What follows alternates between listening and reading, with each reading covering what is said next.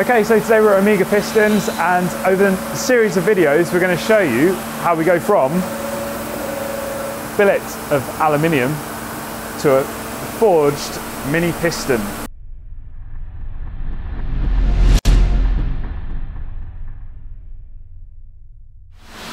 Hi, I'm Jason. I've been forging the pistons at Omega since 1995. We start the process with the raw material here.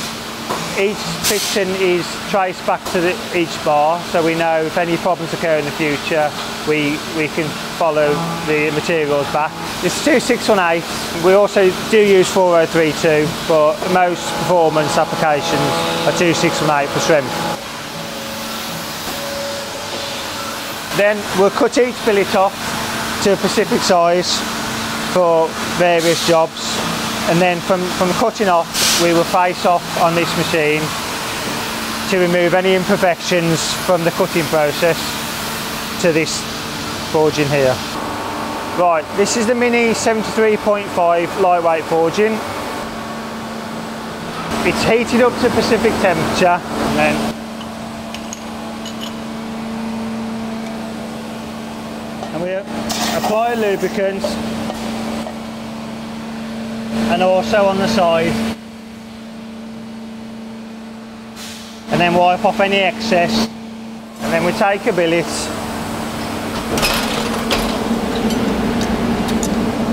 like that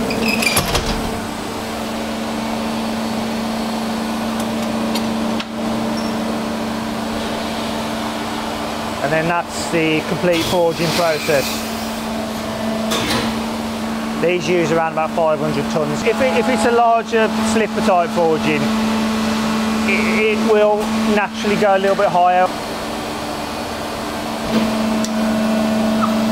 I'll, I'll, then check for any imperfections on the lettering or inside the bosses or make sure we're not getting any, any bad pickup. And then that's your finished forging.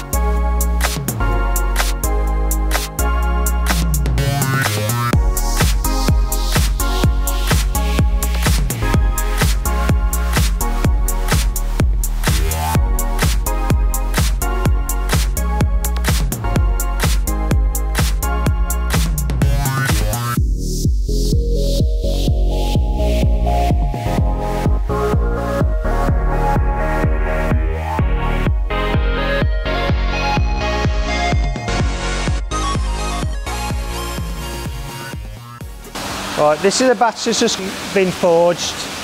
Um, this, this, is one that was also forged earlier that's been bead blasted to check for any imperfections. After this process, any, any excess material will be removed and then taken down to the heat treatment. Okay, so we're at the heat treating plant now. You'll see we get roughly about 500 pistons in there of different shapes and sizes, heated up to near melting point of the aluminium and then quenched in the tank at the back, which is absolutely key for making a strong forged piston. The pistons go through a bespoke heat treatment process and this is how they come out. And then they'll, they'll need reblasting and trimming off any excess material and then they start the machining process. Each forging is always hand checked for quality. If I forge a Mini or I forge a MotoGP piston, to me they're the same quality. It, you know, I, I, always look for the same quality inside. I'll, I'll always check for any, any imperfections, any, any, radiuses that aren't fully formed. All the lettering's got to be fully formed. Any marks that will, could occur with the forging will always be checked. And I'll check that on, on every forging, no matter whether I've done 10 or 1,000, everyone will be the same. Okay, so that's it for part one. So here's a, an example with not a mini piston. So that's back from heat treatment, then get blasted, roughed out inside and then machined on the CNC machine. So we'll show you all that in the next video.